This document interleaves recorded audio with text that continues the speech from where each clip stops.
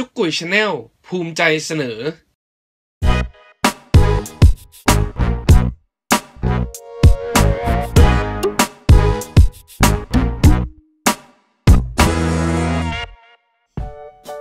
สวัสดีครับเพื่อนๆ ยินดีต้อนรับเข้าสู่รายการจุ๊กกุ่ยพาเที่ยว episode ที่ 30 นะครับ วันนี้เราอยู่ที่ญี่ปุ่นนะครับ จังหวัดไซตามะนะครับ ผมก็ลงจากสถานีรถไฟนะฮะ เขาก็จะมีรถแท็กซี่คอยบริการอยู่ แต่ว่าเราไม่ขึ้นนะครับ รถบัสเราก็ไม่ขึ้น เพราะว่าวันนี้เนี่ยสาขานี้ค่อนข้างใกล้นะครับ เดินข้างซ้ายนี้ไม่นานเท่าไหร่ก็ถึงแล้วนะครับ ผมก็เอากระเป๋าใบเล็กมาด้วยนะฮะเพราะว่าวันนี้เรามาไกลกันหน่อยนะฮะเผื่อว่าได้ของดีได้ของเยอะอะไรเงี้ยจะได้ใส่กระเป๋าเข็นกลับบ้านได้กลับที่พักได้ ขวามือนี่ครับ เป็นร้านกาแฟเล็กๆนะครับ น่ารักดีมากเลย พร้อมที่จอดรถช่องเล็กๆ น่ารักดีนะครับ เหมาะแก่การนั่งพักผ่อนมากเลยนะฮะ วันนี้อากาศค่อนข้างร้อนนิดนึงนะครับ เดินตรงมาครับถึงสี่แยกแรกเลี้ยวซ้าย ข้างขวานี่มันเป็นเหมือนอห้างขายเครื่องใช้ไฟฟ้านะครับ ไม่แน่ใจเหมือนกันไม่ไม่ได้เข้าไปดูนะ เนี่ยครับข้างหน้าลิฟต์เนี่ยนะฮะเราจะเห็นป้ายร้านแล้วแล้วแหละนะครับ แต่ว่ามันอยู่ฝั่งนู้นไง เราต้องข้ามไปก่อนนะครับ เดินเลยม้าลายไปหน่อยนะครับเดี๋ยวรอข้ามถนนก่อนตรงนี้ไม่มีไฟเขียวไฟแดงนะครับ แต่ว่าเป็นทางม้าลายดูตามจังหวะเอานะครับ ข้างขวาหน้านี่เป็นร้านแบบห่อกลับบ้านนะครับ เป็นกล่องๆผมเห็นเขากล่อง กองเพียบเลยนะ เมนูเขาก็น่าสนใจแต่ว่าเขาไม่มีกินที่ร้านนะฮะเขาใส่กล่องทำทำใส่กล่องอย่างเดียว ให้ดูบ้านเมืองเขานะครับ นี่คือแบบค่อนข้างจะชายขอบนะครับ อันนี้เราอยู่ที่ไซตามะนะครับ กินไหมน่ากินเนะ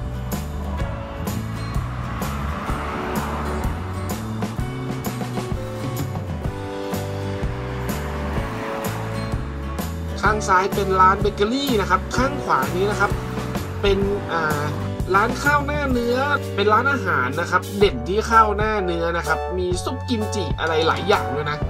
ข้างขวาเนี่ยนะฮะพี่ผู้ชายคนนี้นะครับ เป็นพนักงานนะฮะออกมายืนเรียกนะครับ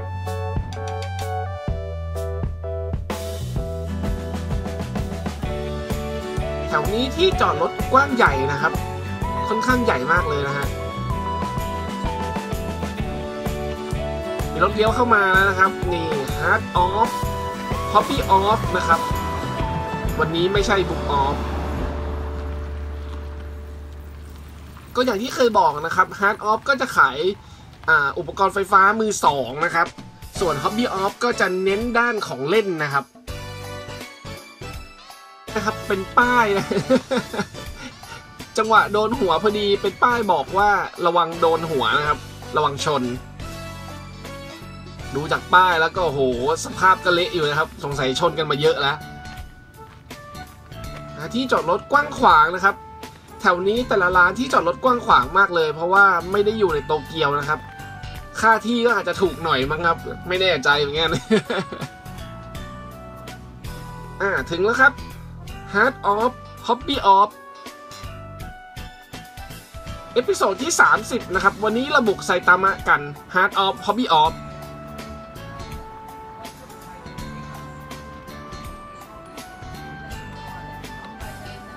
อ่าเราเปิดมาด้วยนะครับ นี่ Panasonic นะครับ 3DO Real นะครับ 16,200 เยนนะครับ ตัว Data Recorder ของ Famicom นะครับ 16,200 เยนเหมือนกัน ส่วนด้านขวานั้นเป็นของ Saturn นะครับ เป็นดิส Floppy disk นะครับ 32,400 นะครับ ตัว Mega Drive 1,800 เยน แล้วก็ตัว Barcode Boy นะครับ ของ Game Boy 2,700 เยน ขึ้นมานะครับ Nintendo 64 นะครับ สีม่วงใส 1,800 เยน แล้วก็ด้านในนะครับเนี่ยครับเห็นซูมเข้าไป Hitachi High Saturn นะครับ 8,640 เยน สวยนะ อยากได้เฮ้ยโอ้โห นี่อะไรเนี่ย 199,800 เยนนะครับมี Congo Bongo มีเกมอะไรเนี่ย 8,640 เยน เบสบอล Safari Hunting นะครับ แล้วก็เป็นตลับ MSX 6,480 เยนนะครับ ส่วนอันนี้เป็น Wonder Swan Color 3,000 กว่าเยน แล้วก็ Game Boy Color น่าจะเป็นตัวพิเศษนะเกือบเกือบ6,000 เยนเลยทีเดียว ต่อมานะครับด้านขวามือล่างนี้ โอ้โห สล็อตแมชชีนนะครับ ปาจิสล็อต1,940 เยนกับ 2,160 เยน ราคาแบบ 5-600 บาท ถูกมากเหลือเกิน แต่ยกกลับบ้านไม่ไหวนะครับ ส่วนตู้นี้นะครับ ด้านล่าง Famicom AV 9,700 กับ 1,800 เยนนะครับ N64 สีทอง 6,480 เยนถัดมาด้านบนนะครับ อันนี้เป็น Famicom Mini 5,900 เยน แล้วก็ Super Famicom Mini 7,000 กว่าเยนนะครับ ขึ้นมานิดนึงก็เป็นจอยสวิตนะครับ 3,000 เยน แล้วก็มีสวิตมือ2นะครับ30,000 เยน 29,000 เยน ก็แล้วแต่condition แล้วแต่สภาพ แล้วแต่ว่ามีของอะไรให้นะครับ เพราะว่าเป็นของมือ 2 ตัว Minecraft 32,400 นะฮะ ตัวกริป2,004อ่แล้วก็จะมี 3DS มากมายนะครับ 3DS LL New 3DS 3DS 2DS อ่า อันนี้นะครับเหนือตู้ อันนี้ก็คือ Labo นะครับ1,620เยนน่าจะของไม่ครบนะ เพราะว่าสาขาก่อนหน้านี้เคยเห็น 4,000 กว่าเยนเลยทีเดียว นะฮะ Super Famicom ในตู้เนี่ยครับ2,001 Final Fight 1,600นะครับ Rockman 7 2,007นะครับ น่าจะไม่มีคู่มือนะครับ หรือคู่มือยับอะไรสักอย่าง อ่านไม่ออกไม่แน่ใจนะครับ อันนี้ตลับ memory นะครับ ตลับที่เอามาก๊อปเกมใหม่ได้ 6,480 เยนนะฮะ เป็นมินิยงคุ Power WGP 2 นะครับ เป็นเกมมินิโฟวิดาก็คือเกมทามิยานะฮะอ่าของเครื่องซูเปอร์นั่นเอง Kirby มีหลายกล่องมากนะครับ ไล่ตั้งแต่ 3,007 ถึง 2,007 นะครับ รู้สึกว่าถ้าไม่มีคู่มือเนี่ย จะเหลือ 2,007 นะฮะ แล้วก็มี Kirby ตัวข้างล่าง 4,008 นะครับ ปูโย 2,940 เยน ผีน้อยคีทาโร่4,003นะฮะ แล้วก็เคลยอนชินจัง ซูฟามินะครับ 1,800 เยนอืมถัดมาเป็นโจโจนะครับ 4,320 แล้วก็บูชิอะไรสักอย่างเขียนว่าอะไรไม่แน่ใจนะครับ19,440 เยน สาขานี้ตลับซุปเปอร์เยอะมากนะครับ งานกล่อง Darius 1,944 นะครับ Bing Bing Bingo นี่ครับจำคลิปก่อนหน้านี้ได้ไหมครับ ที่มี 540 เยนกับ 2,000 กว่าเยน อันนี้ 1,294 เยนนะครับ ก็อย่างที่บอกว่าแต่ละสาขาเนี่ย ของราคาจะไม่เหมือนกันนะครับ ถึงแม้สาขาเดียวกันเนี่ย ราคาก็อาจจะแตกต่างกันได้นะครับ นี่เด็กช่างนะครับ6,004อันนี้อะไรก็ซิล่ามอสล่าเหรอ ใช่ไหม5,004โกเอมอน2,001 โมโนโพลีพันหกโอ้โหโมโนโพลีแพงนะครับ เคยได้มาแค่ 500 กว่า เซเลอร์มูนหลาย ๆ ภาคนะครับ ขวานี่น่าจะปริศนาปลาทอง 2001 นะครับ เซเลอร์มูนนี่ 1 2 3 3 ภาคนะครับLion King 4,003เนี่ย Goemon นะครับ 2 ภาค 3,002 กับ 3,007 แล้วก็มีอันนี้อะไรเกมอะไรไม่แน่ใจคล้ายๆ ไยบะ ไม่แน่ใจนะครับ 1,800 ต่อมานะฮะ อันนี้ตระกูล Bomberman โอ้โห มีกี่ภาคเนี่ยนะฮะพันหกยี่สิบสามพันสองสองพันเจ็ดพันสองสองพันเจ็ดพันเก้าสี่พันสามนะฮะ แล้วแต่ภาคแล้วแต่ว่ามีคู่มือไหมคู่มือยับหรือเปล่าอะไรอย่างนี้นะครับ อันนี้น่าจะเป็นสักสองนะพันสองลุนนิตูน ไทยนิตูนนะฮะสามพันสองมิกกี้พันหก มาไคมูระสามพันสองนะครับ แล้วก็มิกกี้สองพันหนึ่งโอ้อันนี้ครับ Back to the Future ภาคสองคลิปก่อนหน้านี้นะครับ น่าจะคลิปที่ 25 ประมาณนี้มั้ง 15,000 กว่าเยนนี่32,000เลยนะครับ โหดมากนะครับ เจมส์ซูเปอร์พรทูนะครับ ไม่มีคู่มือ3,200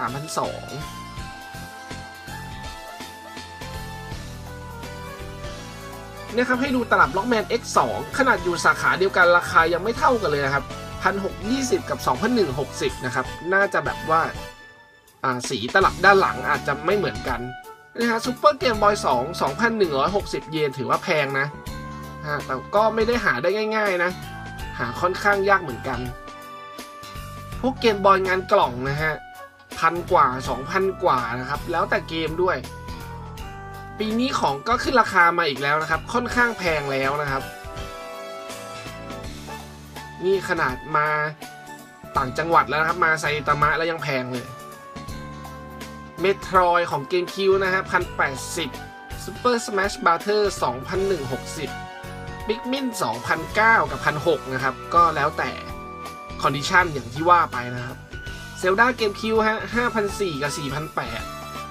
Bio Code Veronica สองพันเจ็ดข้างขวาไม่รู้เกมอะไรห้าพันสี่ Wario World พันแปดสิบนะครับ สาขานี้เพลินมากครับ เดินดูเพลินเลยนะฮะ นี่มีเกม PCE นะครับ Fighting Street นะครับ เป็นภาคแรกของ Street Fighter นะครับ 2,160 Gradius 3,000 Doraemon 2,001นะฮะ แล้วก็เกมอื่นๆ อีกเยอะเลยนะครับ มี Lockman ของ Saturn ด้วย อันนี้นะครับ โซนของเล่นนะครับ มี โคนี่นะครับ1,620แล้วก็มีบราว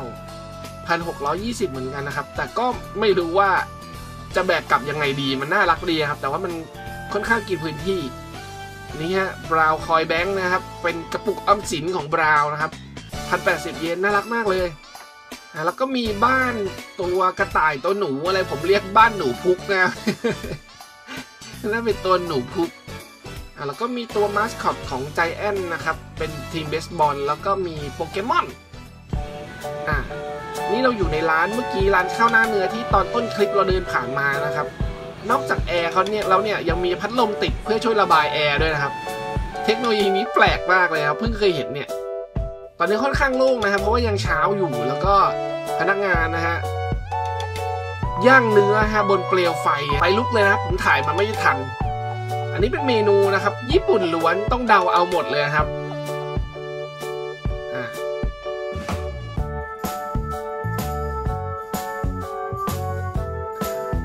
นี้นะครับผมได้ข้าวหน้าเนื้อฮะย่างไฟนะครับ แล้วก็ใส่ไข่ออนเซนมานะครับน่ากินมากซอสอร่อยมากนะครับ แล้วก็หอมมาก อันนี้เป็นซุปกิมจินะครับ ใส่เต้าหู้อร่อยมากเลยนะ กินกลางวันนะฮะับข้าวสวยร้อนๆ โอ้โห โกหังถ้วยหนึ่งครับ จัดไปนะฮะ คลิปควันขึ้นเลยคลิปแบบนี้ชอบกันหรือเปล่านะครับ บอกได้นะครับ ถ้าชอบก็จะทำออกมาอีกนะครับ